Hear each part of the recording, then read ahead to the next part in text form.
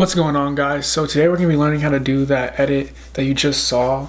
Um, first, what you want to have is all the scenes that you want kind of organized in a, in a way like how I have here. And then what you want to do is go to the picture you have of the backpack. So in this case, that would be this. And just drag it onto your timeline and then find a good spot where it's pretty focused. So for me, I would say like about right there. And then you're just gonna cut it, or you don't you don't really have to cut it, but you'll go to edit and pick add freeze frame, and that's just gonna take a picture of that frame like this, and then now you can delete these videos and however long you think you want it to be. So for me, say, I think 28 seconds is a good length. Just drag out your freeze frame to, to 28 seconds like this.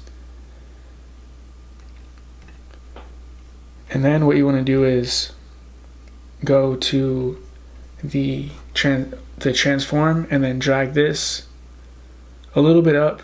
This is really dependent on how you feel. For me, I want it to be a little bit bigger. I think like that's safe, like right there. And then we're gonna go to mask, find draw mask, and then we're gonna drag that on to our still picture like this. And then just to get a clearer mask, I'm gonna zoom in and I'm gonna mask out this um, sticker thing. And I'm just gonna go around like this. Okay, and now that we have it masked out, we're going to invert it like that. And then what that will do is just um, give us where this little spot right here is blank and you can see everything else. And now we get to add our first clip. So I want to start off with maybe the coach. So I'll bring the, the video of the coach down onto my timeline like this.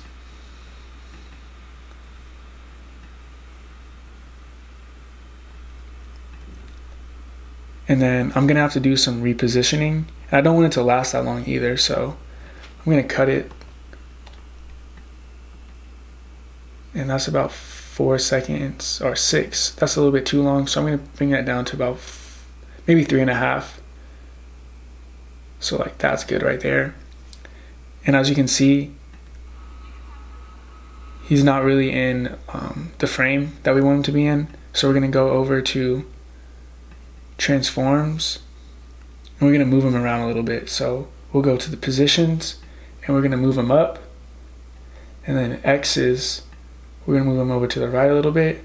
So he's directly in the middle like this. And now it should look like this.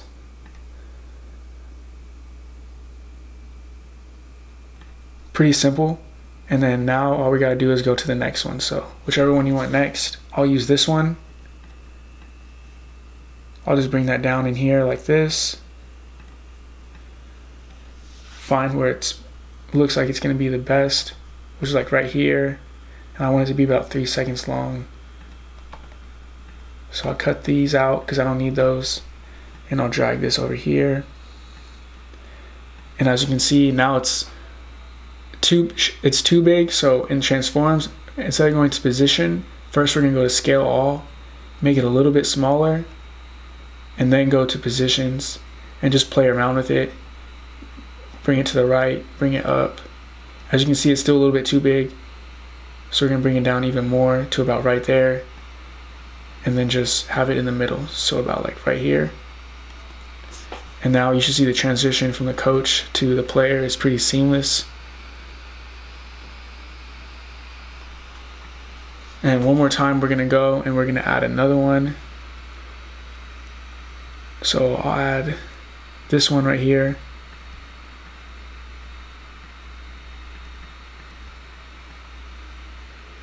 We're just going to bring it down here and then find a good section. So for me, I'm going to guess it's probably decent like right here. And then I'm just going to drag that over here. And here we have the same problem. It's a little bit too big. So we're gonna make it smaller. And the transforms with the scale all and positions, play with it, bring it to the right, bring it up and down till it's about right there.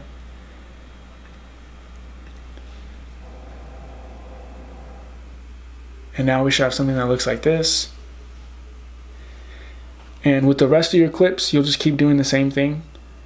Um, however, however long you want it to be. Usually I make my videos like this about 30 seconds, maybe a little bit less, maybe a little bit more. But now we're gonna go over how to add some of the titles. So you're just going to your titling and I usually like selecting custom, but you can pick whatever you want. And for this, we're going to say game day.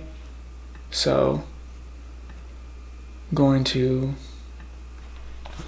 say January, what's today? Today's the 20th. So I'll just say January 20th. And then I'll put game day like this. Then I'll move it over to about where I want it.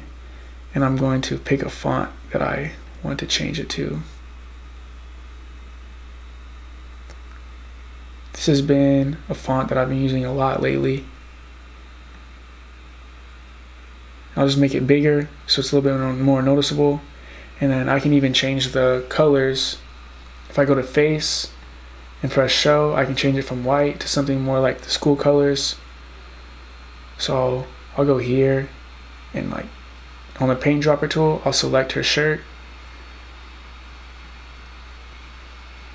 and then for the outline I can make that active and then make that green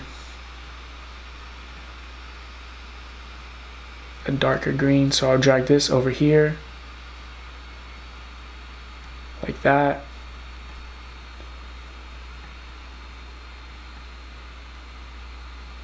and that's pretty much it you would uh, you can go in and drag and drop your um, PNG files of the logos right here and just add your own little spice to it. But for the most part, that's how you can do this little backpack effect.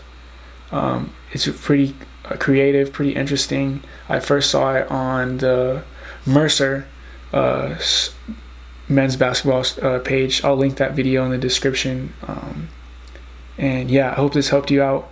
Um, like and subscribe, comment, and other than that, uh, keep creating.